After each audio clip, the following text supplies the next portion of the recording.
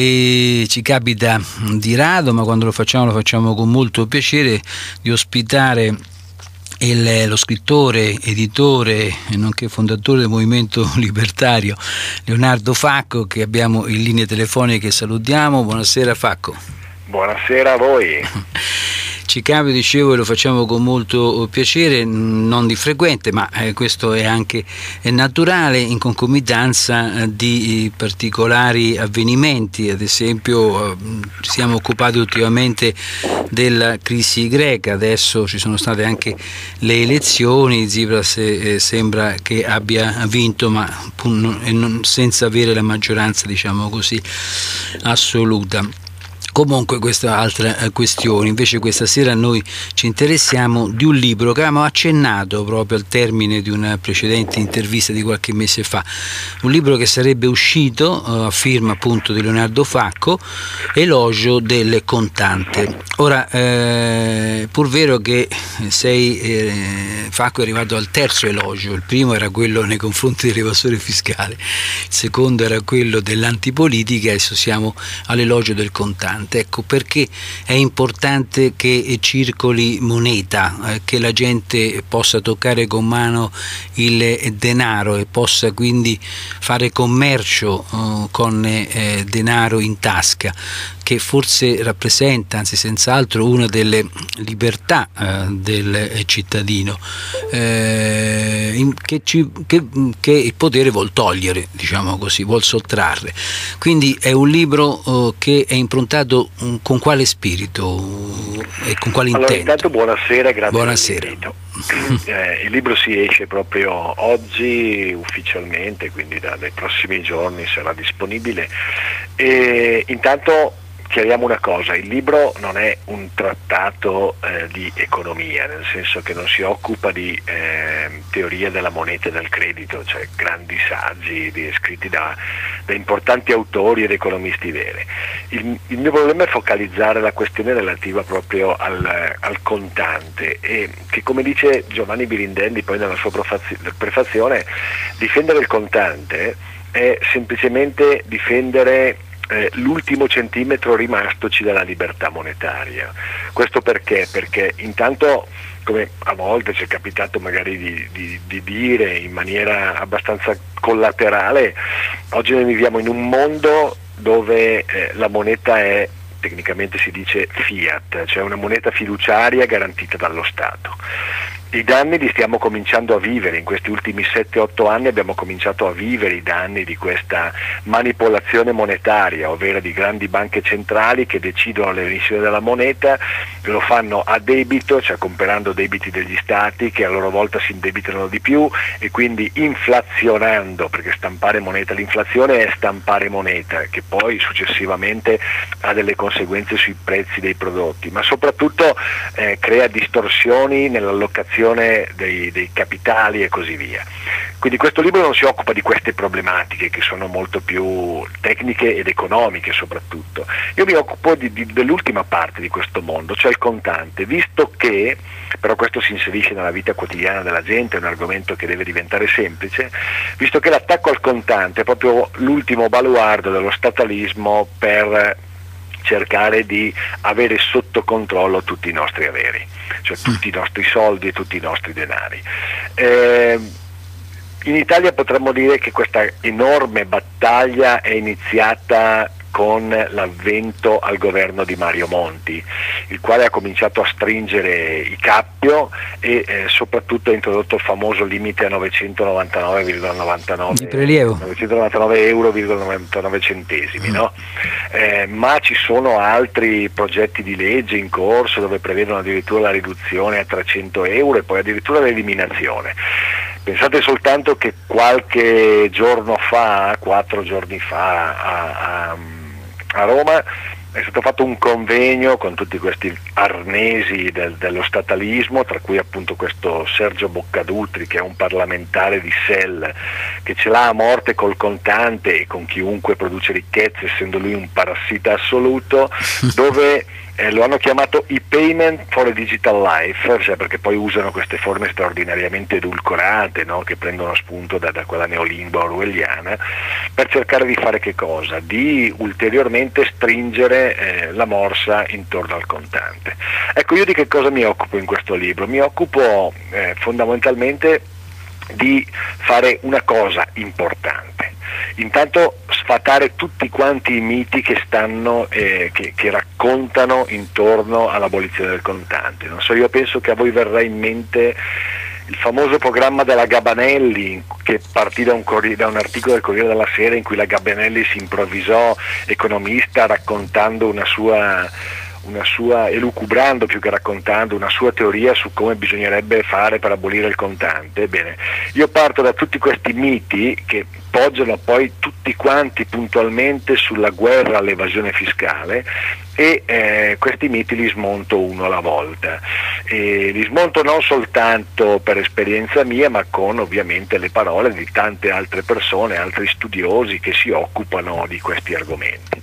Il mito dei miti, come dicevo, è quello contro l'evasione fiscale, ma poi eh, effettivamente i miti si sprecano assolutamente, pensate che addirittura ci sono delle proposte, perché il problema non riguarda solo l'Italia, ma il problema è mondiale, si sente particolarmente in Europa, ma anche negli Stati Uniti comincia a farsi sentire. E ci sono addirittura personaggi che sono paladini dell'abolizione del contante appoggiandosi a, a, teorie igieniste, perché usare il contante potrebbe servire a portare dei batteri e quindi a contaminare le persone. Cioè, si, si, sono lette e scritte delle corbellerie che passano per, per, teorie che sono impressionanti. Ecco, io faccio tutto questo nel libro, cioè racconto proprio nel dettaglio eh, la, l'assurdità di questi miti, la banalità del male che, ci, che c'è in questi miti e poi eh, il libro è corroborato tra l'altro da, da, due straordinari saggi, il primo di Giovanni Birindelli, eh, il quale, eh, lui sì un economista, fa un'analisi un pochino più approfondita, cioè, mh, prendendo spunto da questo mio elogio del contante, ricorda appunto quali sono i guasti del sistema monetario. E poi c'è la postfazione di un altro economista indipendente, Gerardo Coco, eh, che è straordinario, Gerardo Coco ha scritto varie volte su questo problema, lui ci ricorda che quello dell'abolizione del contante è un provvedimento odioso che mira ad eliminare diciamo, la, la cartamoneta, il cash e non farà altro che ingessare completamente l'economia e eh, farà sì che la crisi possa veramente raggiungere il suo climax e sarebbe forse l'ultimo atto autoritario di coloro che si credono i padroni dell'economia, i padroni delle nostre vite. Ecco, quindi eh, il libro Mm, questa è la traccia diciamo, che eh, caratterizza il libro, sono 156 pagine e in 156 pagine penso di sviscerare molto, molto attentamente questo, questo argomento. Ecco, a parte sono curiosissimo di leggerlo, mm, quindi è uscito oggi e, e, e lo acquisterò, ehm, poi ci dirai anche come eh, poterlo acquistare. Sì. Ma ecco, il fatto della mancanza del contante, no, che poi dicevi nella prefazione di Giovanni Birindelli viene definita questa eh, la battaglia per conservare almeno l'ultimo centimetro di libertà, visto che ce le stanno togliendo sì. tutte da questo punto di vista. Come ci si può difendere? Lo dici nel libro? Sì, no, beh, sì. Allora, intanto bisogna cominciare a difendersi protestando, bisogna cominciare a difendersi eh, facendo che cosa? Eh, cominciando ad entrare eh, con una certa efficacia nel dibattito pubblico, cosa che non ci è permesso di fare perché è chiaro che questo libro sarà completamente ignorato dal sistema come un po' tutti i miei libri. Poi io fortunatamente ho tutto un mio mondo, una mia nicchia eh, che, che gravita intorno al web e a piccoli, piccole realtà di informazione come ad esempio la vostra radio, io vi ringrazio sempre di ospitarmi e quindi in qualche modo poi le idee si fanno circolare. Però eh, la prima cosa da fare è dibattere su questi argomenti, cioè eh, eh, poter entrare nel dibattito eh, generale per sbugiardare tutte le sciocchezze che vengono, che vengono raccontate da questo punto di vista. No? Ehm, ad esempio sì. quando ti racconto dell'evasione fiscale legata al contante, ecco io racconto, spiego, porto degli esempi di come questa sia assolutamente una fallacia, di quando ti vengono a raccontare che l'eliminazione del contante servirebbe per semplificare il fisco, io spiego, racconto perché è una corbelleria. Quando eh, spiego eh, vengono a raccontarti che l'abolizione del contante permetterebbe di togliere acqua alle mafie, ecco io spiego che è tutto un falso perché gran parte dell'attività mafiosa viaggia sui circuiti finanziari che eh, avvengono attraverso transazioni elettroniche, quindi siamo veramente di fronte a tante di quelle corbellerie che se non hanno contrapposizione eh, è molto difficile, è molto difficile mh, eh, riuscire a controbattere, cioè la gente comune purtroppo eh, si occupa un po' poco di queste cose, anche se il fatto che li comincino a togliere il contante forse potrebbe diventare un atto di percezione molto interessante. Come fare? Bisogna cercare di lasciare meno contante possibile in banca, perché è chiaro che ad esempio uno dei, dei punti fondamentali che io spiego e racconto nel libro eh, del perché vogliono abolire il contante è anche perché Stato e banche sono praticamente l'uno il braccio armato dell'altro e viceversa diversa. Le banche non sono messe bene, eh, in un sistema di moneta fiat come dicevo oggi esiste una, una quantità di indebitamento da parte delle banche che è impressionante.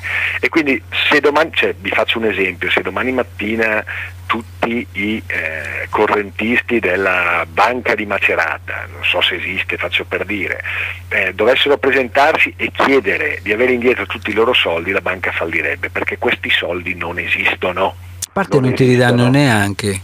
Ecco, appunto, cioè, è chiaro, mm. loro hanno fatto delle leggi per le quali tu non puoi ritirare più di 2.500 euro e se superi 2.000, 2.000 euro, se li superi devi dare la carta d'identità, devi dare eh, documenti, poi oggi ci sono tra l'altro tutto questo è legato anche a tutta un'altra serie di meccanismi fiscali come il famoso Serpico, no? cioè il centro di elaborazione che mensilmente riceve da tutte le banche i conti correnti di ciascuno di noi e così via. Cioè, ecco perché è l'ultimo centimetro, perché l'abolire il contante è proprio l'attacco finale, perché molta gente di contante ce ne ha eh, sotto il materasso, come si diceva una volta. Del resto c'è molta saggezza nel, nel, nei, nei proverbi degli anziani. Ecco, bisogna fare anche questo quindi, togliere eh, contante i soldi dalle banche, anche perché voi dovete sapere eh, che in realtà quando aprite un conto corrente bancario e firmate quella serie di documenti di cui non leggete mai nulla, nessuno legge mai nulla, me compreso, eh, l'ho dovuto fare poi successivamente per approfondire ovviamente argomenti come questi. In realtà oggi il rapporto che si ha con la banca non è il rapporto storico che un eh, depositante ha sempre avuto con le banche, cioè tu depositi i tuoi soldi che rimangono di tua proprietà e dai alla banca la possibilità eventualmente di prestare i tuoi soldi a qualcuno che vuole fare impresa guadagnandoci sul tasso di interesse così via.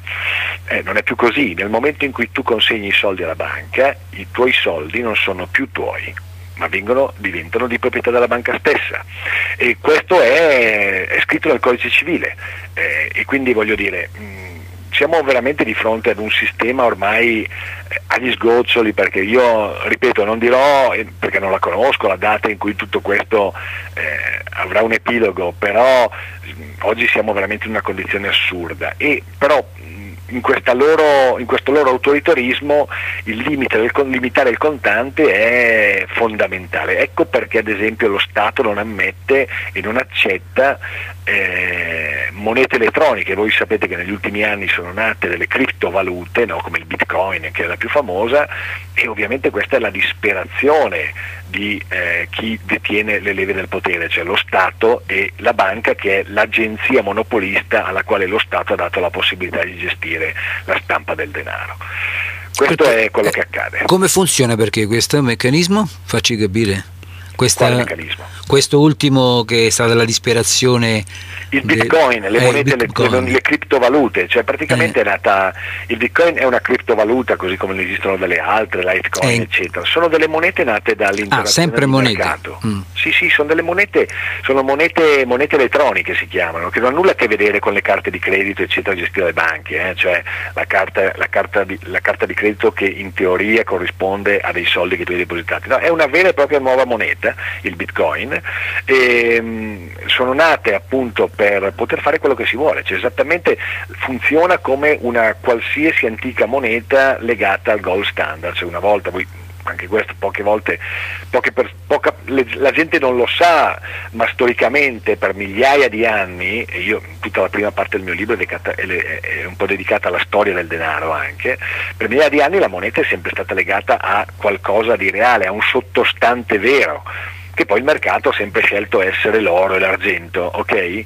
È soltanto nel Novecento che tutto questo sparisce, poi con, nel 1971 con la, la, la, rivisitazione degli accordi di Bretton Woods che definitivamente sparisce eh, il controvalore in oro delle monete e, e, quindi gli americani impongono il dollaro come moneta internazionale. Bene, ecco, in questi ultimi anni grazie alla tecnologia sono nate queste criptovalute le quali eh, vengono utilizzati attraverso computer, telefonini, iPad, device vari e, eh, e servono proprio per, eh, per, fare esattamente quello che si fa nella vita reale. Sono ancora una, una, realtà molto di nicchia, però sono una realtà di nicchia estremamente pericolosa, non sopportata ovviamente da chi gestisce la moneta in monopolio. Benissimo, molto interessante perché questa delle microvalute eh, non la conoscevo. Criptovalute, criptovalute. criptovalute. Senti eh, Franco, ma ehm, la mancanza eh, del eh, contante in po', eh, d'altra parte poi, quanto ci viene a costare a noi contribuenti? Cioè dover agire sempre con la carta di credito o con il banco, ma non è un costo? Sì, esattamente, tra l'altro c'è questo fatto qua.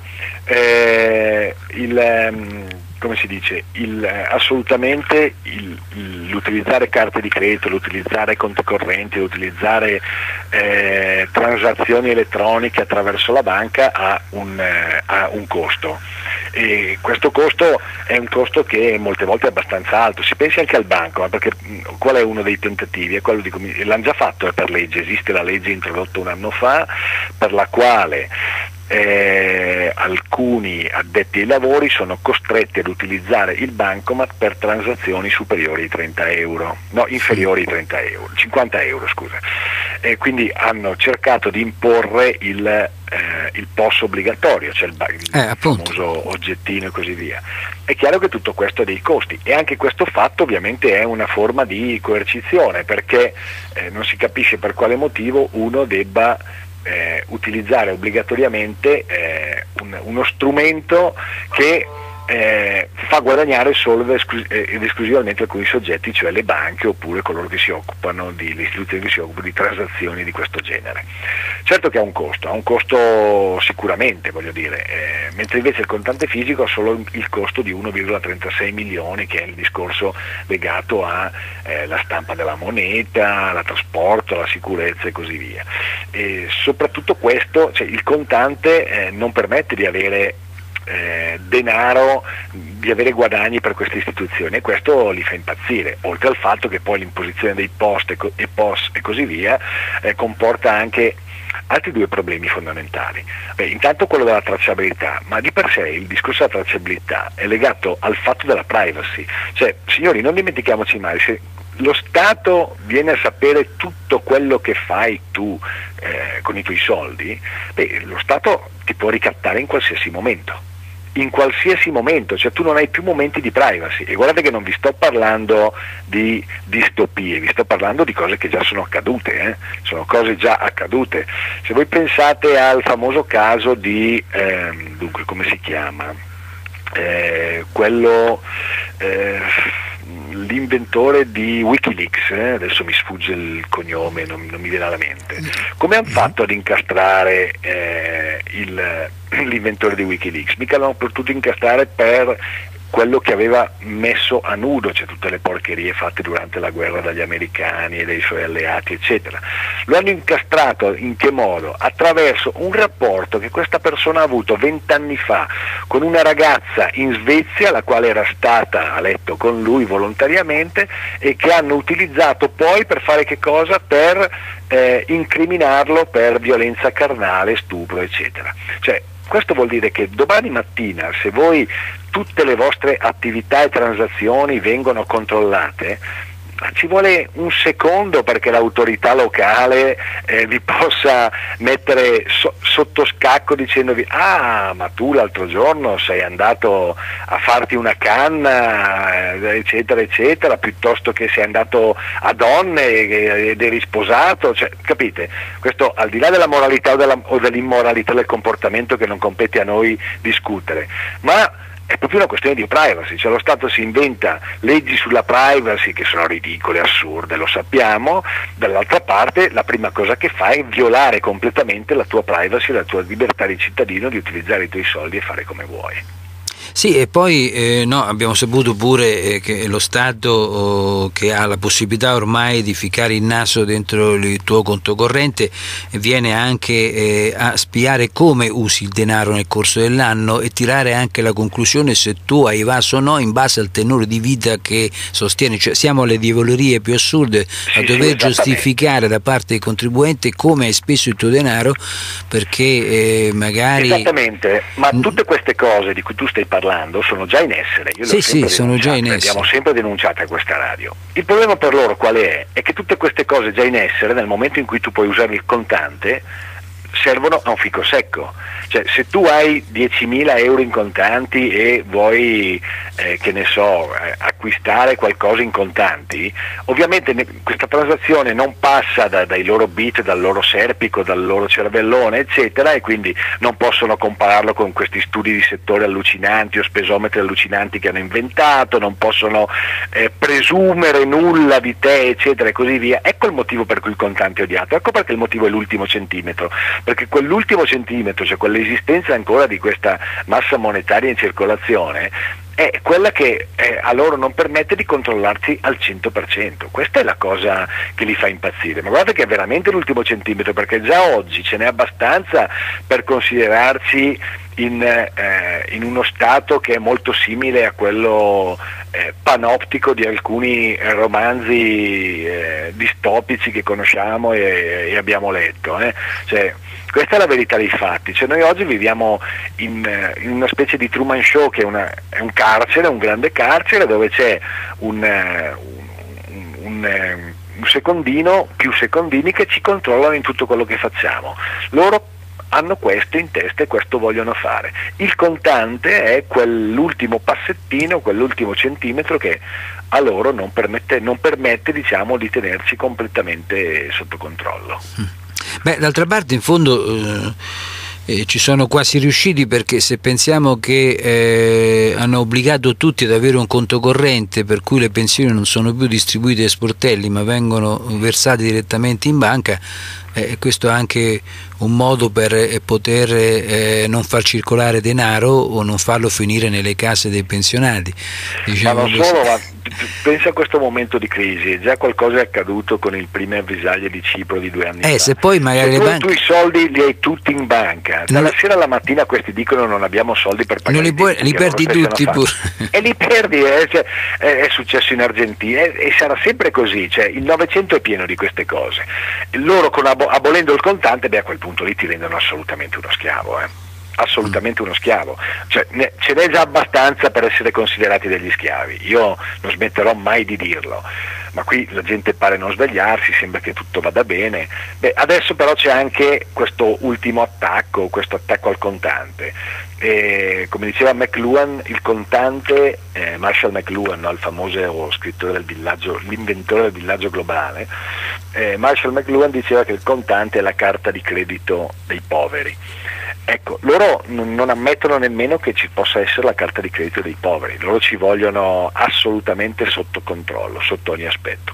Tra l'altro nel, nel mio libro io riporto, perché tutti, quali, tutti, tutti coloro che si oggi si definiscono favorevoli all'abolizione del contante, no? sono tutti quelli mossi da una certa invidia per, la, per, cui si dice eh sì perché quel bastardo riccone può evadere, può fare. Ecco, devono mettersi in testa una cosa queste persone, che coloro che hanno enormi quantità di denaro e ricchezze, eh, possono fare quello che vogliono in qualsiasi momento perché hanno la possibilità di pagare il servizio per poterlo fare Sono, e, e, per loro non esiste restrizione che, che, che valga.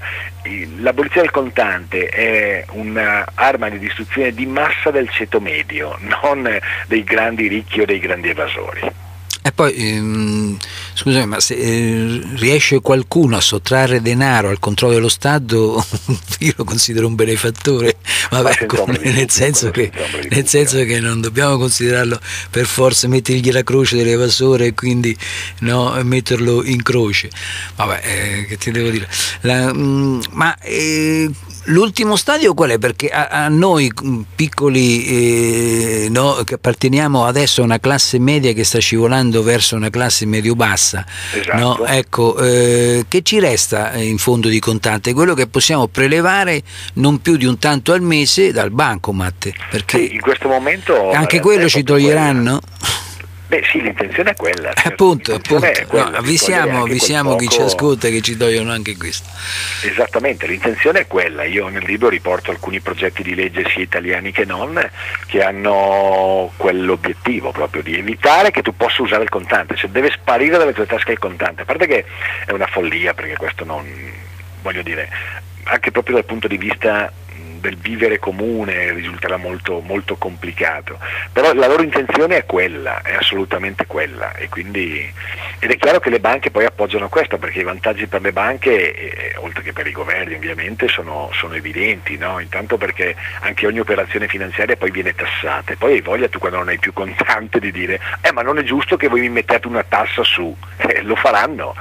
Poi a ogni transazione finanziaria può essere addebitato un costo eh, capisci? E come dicevi tu prima, parlavamo semplicemente del POS, loro possono all'inizio dirti vabbè faremo in modo che il POS costi poco o niente, eh, ma una volta che poi ce l'hai installato e loro hanno il coltello dalla parte del manico possono dirti che ogni operazione fatta col POS eh, ti viene a costare un euro e quindi è un'ulteriore tassa.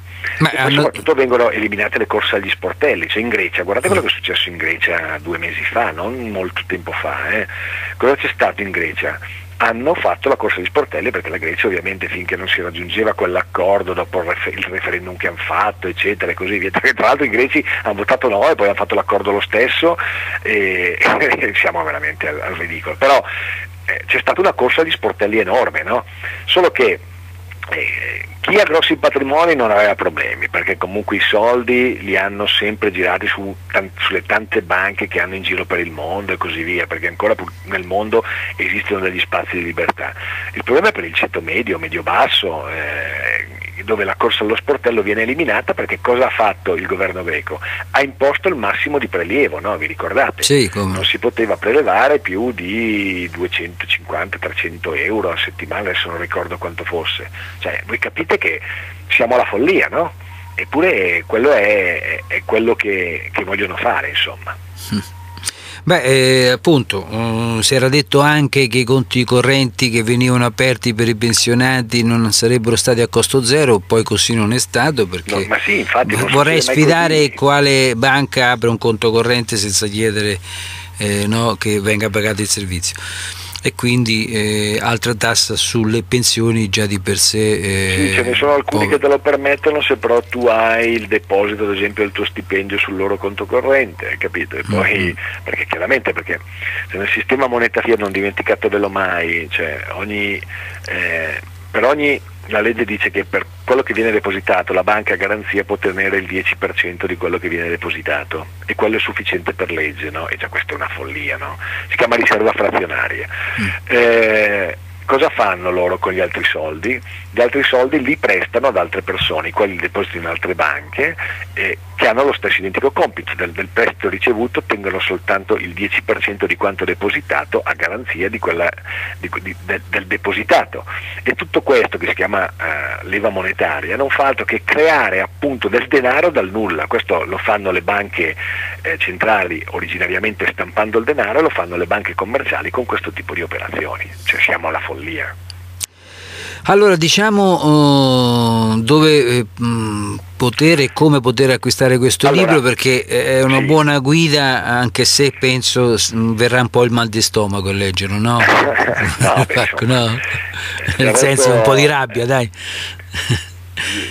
Del resto come diceva Orwell eh, non c'è nulla di più rivoluzionario della verità. Sì, sì, no, per carità. raccontarle le cose come stanno. E il libro, allora, qualsiasi persona può andare in una libreria e ordinarlo, poi le librerie lo ordinano direttamente all'editore, glielo facciamo avere tramite posta, altrimenti se uno vuole averlo per posta basta che vada sul sito del Movimento Libertario e trova appunto l'inserzione, trova l'indirizzo, l'indirizzo email è Leonardo Facco Editore, chiocciola gmail.com e lì si può, si può, ordinare il libro. Il libro costa 15 euro, compresa la spedizione, sono 156 pagine.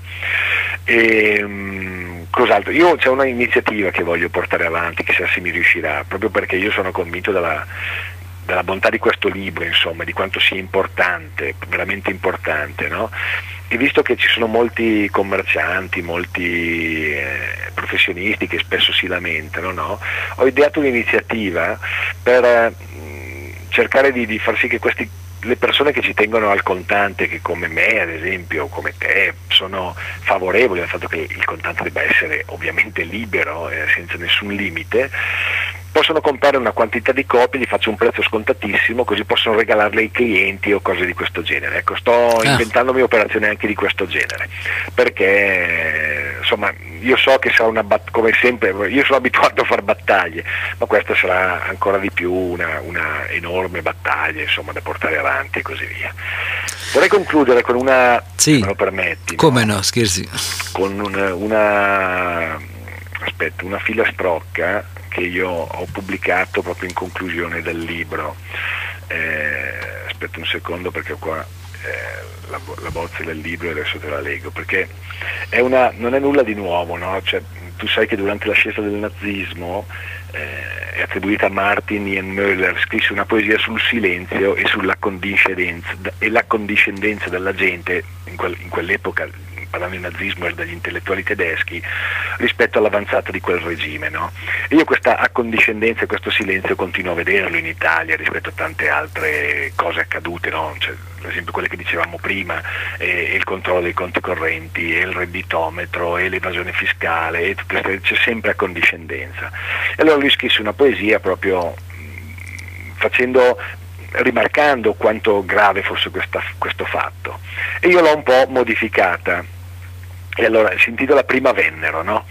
E io ho scritto prima di tutto vennero a prendere un pezzo del nostro reddito e fui contento perché pensavo servisse a fare del bene. Poi vennero ad espropriare qualche immobile e stetti zitto perché non ne avevo. Poi vennero a prelevare i soldi dei conti correnti e fui sollevato perché ne avevo pochi. Poi vennero a chiedere il 70% di quello che producevo e io non dissi niente perché mi adattai a vivere col 30% che mi rimaneva. Un giorno vennero a prendere il contante e mi accorsi di non avere più nemmeno i mezzi per protestare.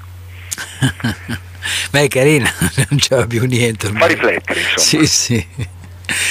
Come no? E poi è, è una um, sequenza di eventi um, anche dal punto di vista cronologico molto esatta, diciamo così. Esatto, sì, sì, infatti. Benissimo Facco, allora mo- movimentolibertario.it eh, oppure, com, com. com, oppure Leonardo Facco chiocciola gmail Leonardo Facco editore chiocciola gmail ah, bisogna metterci anche editore sì. benissimo comunque sulla nostra radio daremo tutte, entrambi le, le email mille modo, grazie come sempre. in modo da poter eh, stimolare questa curiosità a leggere il tuo libro. No grazie a te per il tuo impegno. Una voce eh, controcorrente una voce che eh, non udiamo quasi mai in televisione se non solo che a furia di nuotare controcorrente eh, lo so, veramente diventato stanco. Lo so ma il potere distrugge distrugge distrugge. Benissimo bocca al lupo e grazie mille grazie. vi ringrazio tantissimo davvero grazie davvero